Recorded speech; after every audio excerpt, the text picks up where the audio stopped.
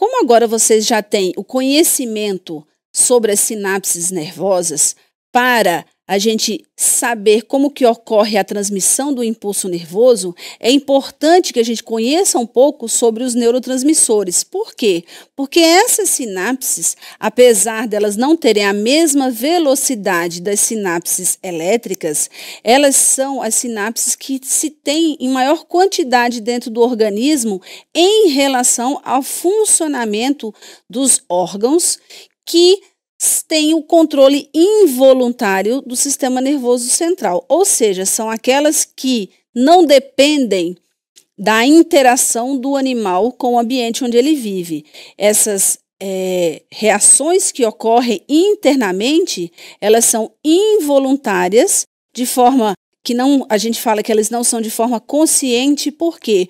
Porque são necessárias para a manutenção da homeostase do animal e, consequentemente, para manutenção da vida do animal. Bem, vamos falar um pouco de quem são esses neurotransmissores.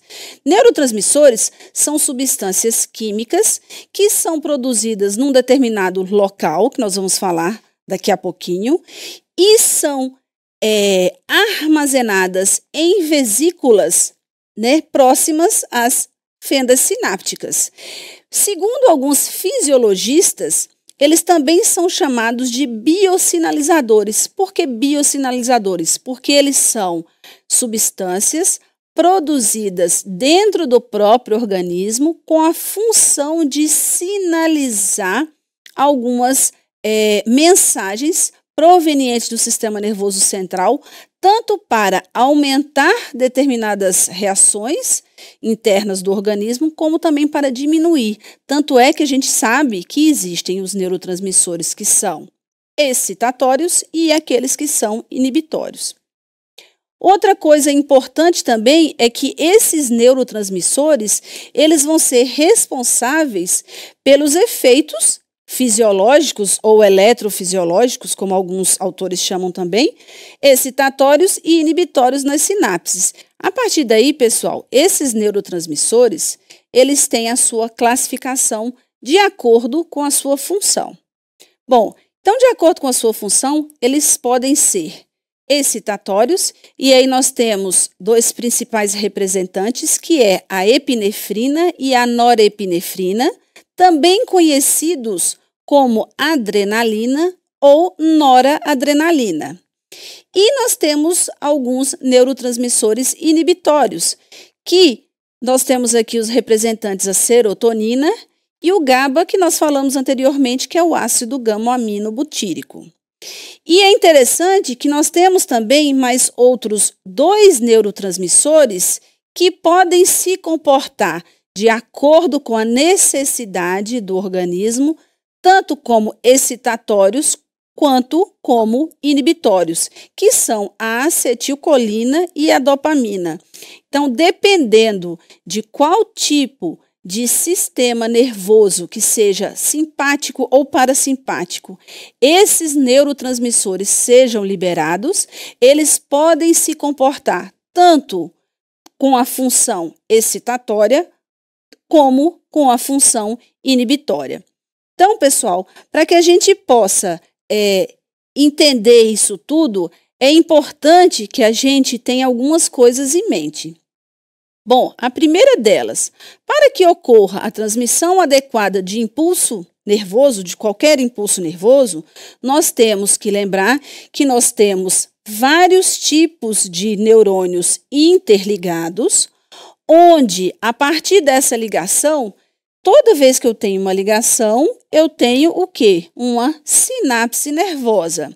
Essa sinapse nervosa, ela é constituída de um terminal de um nervoso pré-sináptico, né? Onde eu vou ter a membrana pré-sináptica e posteriormente a membrana pós-sináptica de um neurônio pós-sináptico e eu vou ter a recepção da captação do estímulo pelo corpo celular, onde essa informação vai ser processada e levada pelo axônio até o neurônio subsequente, né, que nós chamamos de neurônio pós-sináptico.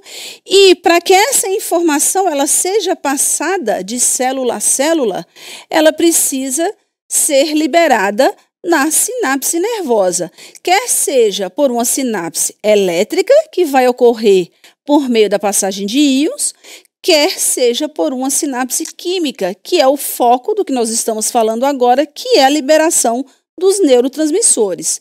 Então, para que a gente entenda um pouco quem são esses neurotransmissores e como eles são liberados, nós vamos mostrar aqui esquematicamente como que isso ocorre, começando dos neurônios.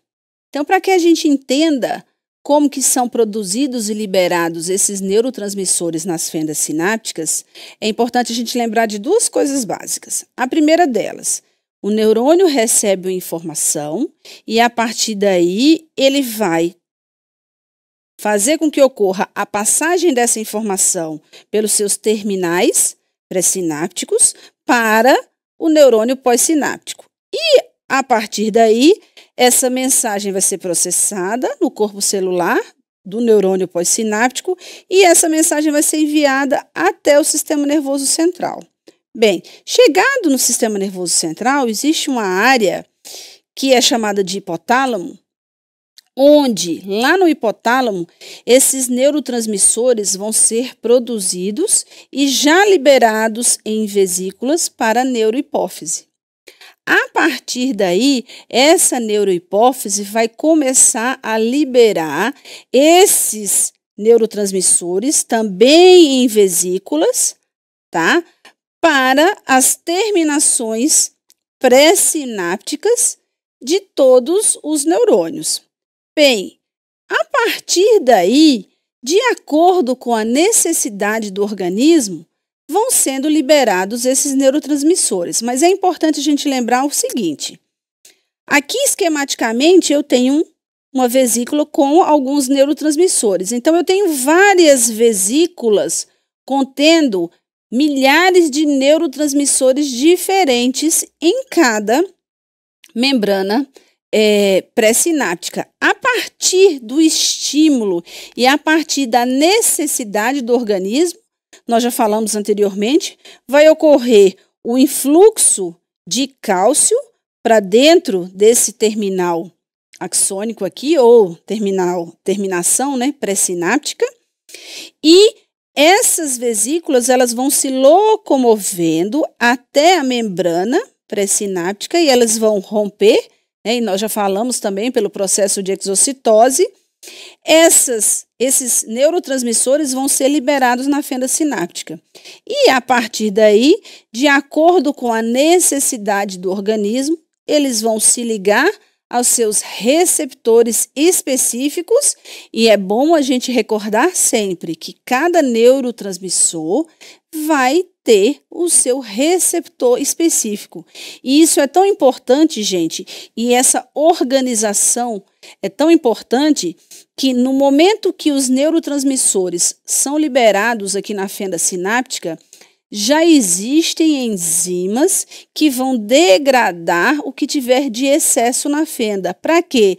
Nem para superestimular um é, neurônio, como também para inibir totalmente. Então, nós temos toda uma organização aqui na fenda de substâncias, inclusive de enzimas, que vão fazer com que ou esse neurotransmissor seja degradado ou ele seja reabsorvido para dentro da do terminal pré-sináptico para ser encapsulado de novo em vesícula, que aí a gente chama de processo de endocitose, e a partir daí recebam outro estímulo para ser liberado novamente. Então, tudo isso aqui é extremamente bem coordenado pelo sistema nervoso central.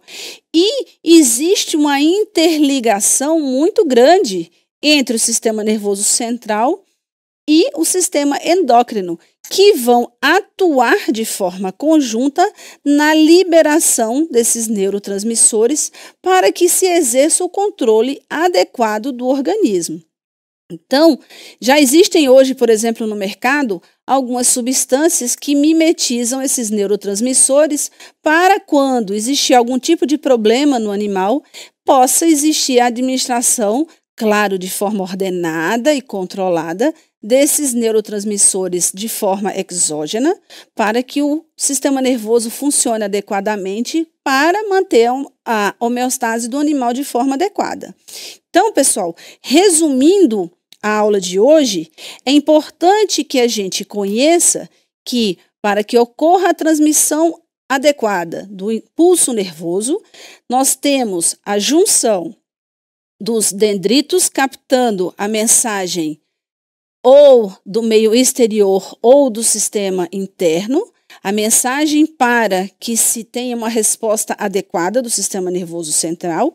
Essa mensagem que a gente vai chamar de estímulo é passada do corpo celular pelo axônio, onde ele chega nas terminações é, pré-sinápticas e vão ser passadas para o neurônio pós-sináptico por meio das sinapses nervosas, que são classificadas em sinapses químicas e elétricas, e a partir daí, dependendo do estímulo gerado, você vai ter uma resposta de ação, quer seja ela excitatória, quer seja ela inibitória.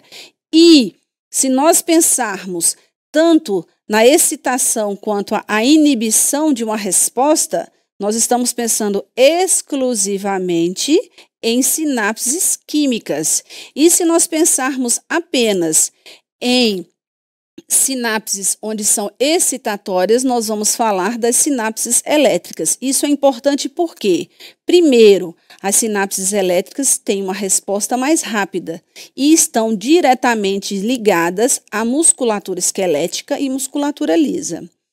Já as sinapses químicas, ela tem uma resposta mais lenta, justamente porque precisa do influxo de cálcio, a mudança conformacional do terminal pré-sináptico para o caminho das vesículas e posteriormente liberação desses neurotransmissores na fenda sináptica. Hum, médico veterinário, está precisando acessar mais aulas como essa? Acesse agora a plataforma VET Profissional e se surpreenda.